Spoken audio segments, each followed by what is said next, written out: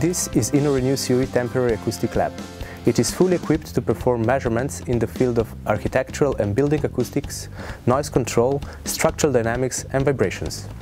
These lab's sound-absorbing surfaces enable precise measurements without environmental influences. Our capabilities are demonstrated by two of the lab's most interesting pieces of equipment, the acoustic camera and the higher order ambisonic system. InnoRenew COE's acoustic camera combines video with sound pressure as recorded by 60 microphones, which is a big advantage over measurements relying on a single microphone. In fact, our acoustic camera can identify the location of a sound source. A practical use for this equipment is detecting sound leakages to provide useful information for soundproofing.